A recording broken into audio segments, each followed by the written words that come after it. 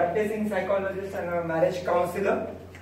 And uh, forget about whatever achievements and all those things. But I have specialized mainly into mind body medicine, which actually most of our uh, diseases or disorders, you can say, comes from, believe me, from a mental state, from a mental factors, from our mind, from our emotions, the way we think.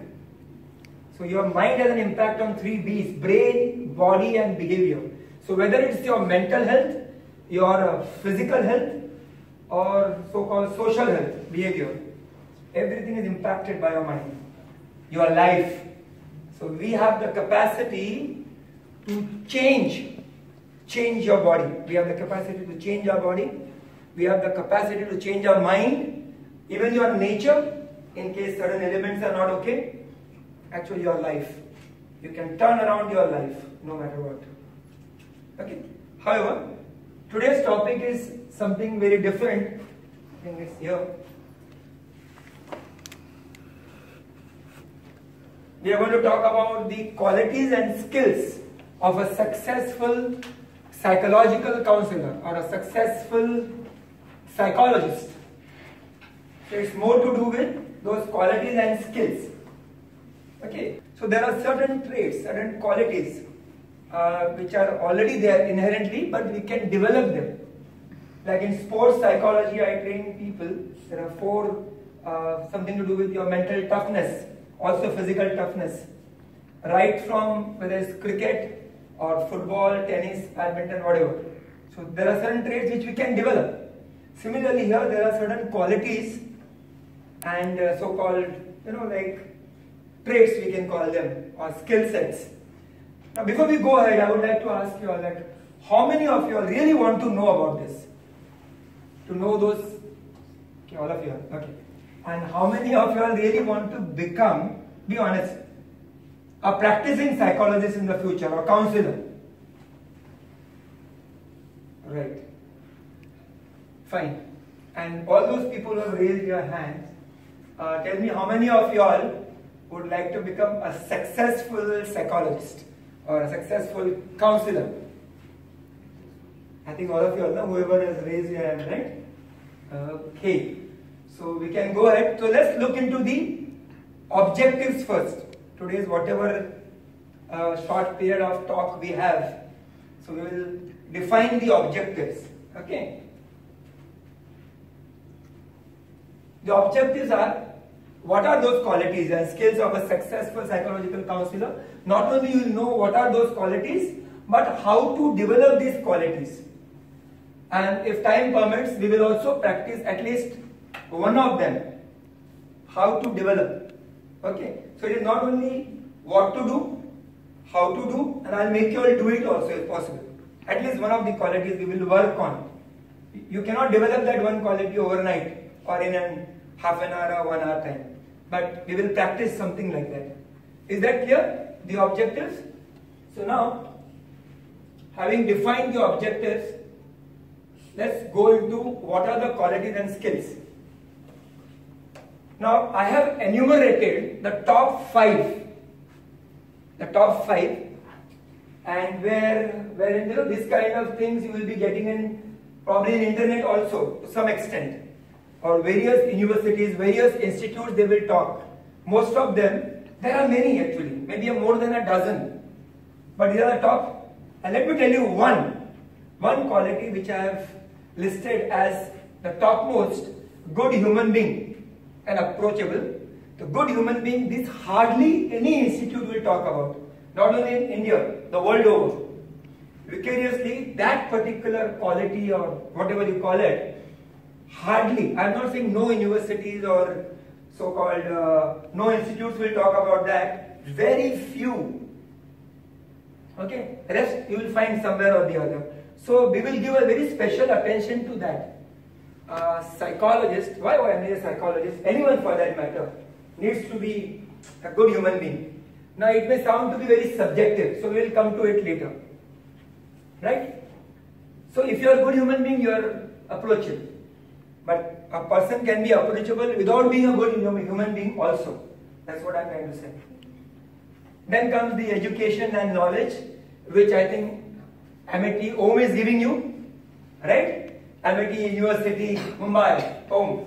So OM is also giving you, and if you, as I said, education and knowledge is will give you from University OM, and of course your own self-education, studying. It is not just a particular institute or a particular book. Lot of studies we need to do. That is understandable. Communication has got many elements, but these are the broader elements which we all know. Communication is not only about speaking. Okay, that is only one thing. Articulation or public speaking is only one aspect. You don't have to be a public speaker unless you want to be a professor or you want to give a lot of talks like me. Okay, I enjoy. Otherwise, for a counselor, you need three elements. First is listening. Let me tell you, I was a very poor listener once upon a time. So, I developed that quality over a period of time, which gives you success. So, listening. So, listening is one area, then talking and non-verbal, which comes in both the areas. Your, what we call it in generally common parlance, word called body language, but actually the right word is physiology. How you said your expressions while you are listening, yeah, not only posture, yes, posture also, apart from the posture, your expression. Even in your posture, there are certain things. How to match, so that vibration, you can match those vibrations with the person. You can draw, attract, for a good purpose, I mean, here. The connectivity, the connect, create that. Okay, so we'll come into that also a little bit if you want to. Otherwise, you know, while listening also, there are certain physiological aspects. Body language, while talking also, while speaking also. So in both the areas it will come. And then one of the very vital areas is problem solving ability of a psychologist more than a counselor. Okay, where you use a lot of psychotherapy. Now people come to you or will come to you in future basically either to vent out or to get some answers or to solve their issues or problems. So this is a very important aspect. You cannot solve all the problems. Okay, but that ability is very important. Again, coming back to the last point is ethics. Now, ethics is also very controversial and very debatable and subjective. But there are few things which are very, very vital and every culture has got a different thing. Like India is very different. No doubt you must have seen that movie called Dear Zindagi. Huh? Shahrukh Khan and all. So, जहाँ पर बाहर जाता है, people go out and meet and all, which is very common abroad, where a person goes out with the counselor, and there is a connect, transference, and a lot of other things are there, identification, whatever. Now, it is not taken very positively in India. Okay, there are people who do that also. So, again, there is subjective, but here the ethics which I am talking about is something very different and very simple. That is to keep their things instead confidence. People come to you, they talk to you, they tell you something which probably they have never told anyone else. Even their parents maybe, even their partners maybe. So that is where na, to keep and respect that confidentiality. That is very important. Second thing, when two people are coming, like a couple counseling or therapy and all, so at times you have uh, individual therapy. So there, the other person calls you up and asks you like what my wife told you. Is she having any affair? Or what she wants to leave me? Or same thing the husband does or the wife does, whatever, whatever. So you should always say that, I'm sorry, I have to maintain my ethics. So you can talk to her or him They can discuss among themselves what. The husband can always say, अकेले में क्या बात की आपसे? Wife को. He was so, you know, you wanted to meet him alone. So what happened? It's up to her to say whatever. And from your side, you should never diverge. Only when you are in a couple therapy and whatever you feel is good for the couple, you are mending the marriage, you are not breaking the marriage. That is the job of a advocate or a lawyer. Okay? So for you it is more of mending. If you feel it is not going to work out, make it clear from your side. So, so far the other four we have understood by and large. Any questions regarding the, these four? So we can touch upon the first one.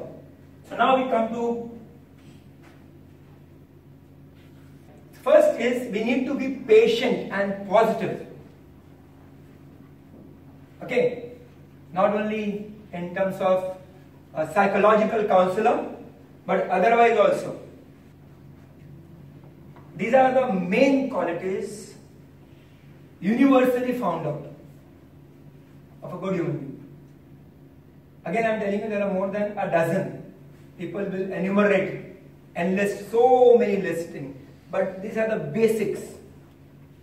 Five, six, whatever, or three points. So being patient and positive. So if you want to be a good listener, you need to be patient. So no. There may be times when you are getting irritated. कितना बोलते हैं एक ही चीज़ को दस बार बोलते हैं What man? कितना negativity है? Not listening to me. I am asking. So you may lose your patience or you may become little negative. So remaining positive means the person has come to me for some help. I will give that person, him or her, a good listening. Take a deep breath if you are getting irritated. Remain or practice mindfulness, awareness, whatever different kind of meditations are there. For by which you can become more cooler and calmer and patient, not the other patient who comes to you. Yeah? And still be positive. That somehow or the other you should think about what the person wants and what I am going to give to this person. Anyway, the help is going to come. I will be able to help. In your mind only, if you start thinking this person cannot be helped, then it is gone. Believe me. Think in your mind it is possible. I don't know how, right now I am not aware, but it is possible. I shall help this person, no matter what. Whether sending him to a psychiatrist or whatever, somebody expert. But I shall help. That is my oath. Okay, so when you're patient and positive, you automatically become non-reactive. We all are reactive in some way or the other, depending on our nature. Okay, some people appear to be very cool, like in sports. You see Dhoni, he appears to be Mr. Cool. He also reacts in a different way. That is his nature actually. Nature-wise, genetically, he appears to be cool. Like there are some people who are introvert, some people who don't talk much, some people who are not. Virat Kohli on the other hand is very reactive. You, wow, you know that. So some people who are very reactive, some people react within.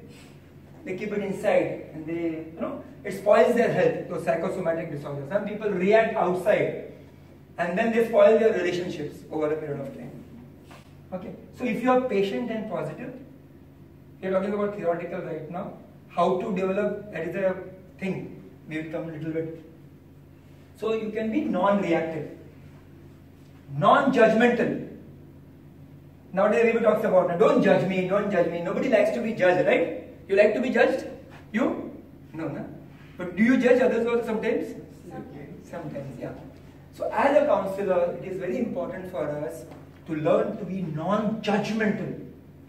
So non-judgmental is so important, at least initial phase of counseling. Initially when you meet, na, because they don't know you. Once there's a good rapport, you can still pass on some judgments. I'm not talking about diagnosis, even that is a judgment. If you have to tell somebody you are suffering from depression, you have to say. That is also a judgment. How can you say? You are an expert in that. Na? So we have to judge in terms of diagnosis. But if somebody tells you, you are a liar, because you have lied a couple of times, you have been caught, so you are a liar. It's a labeling. That's not good. Do you know in what circumstances she has lied or he has lied or whatever? Do we really know it? No. Is it that always a person is a liar? And then of course it's understandable, we should be helping. That is our work. So the person should feel that here the counselor is there to really actually, he or she wants to help me. That feeling they should get from you. You are helping and you are caring. Caring doesn't mean that too much, huh? going overboard like uh, loving and going for all the hugs and everybody in India. You know, it's different.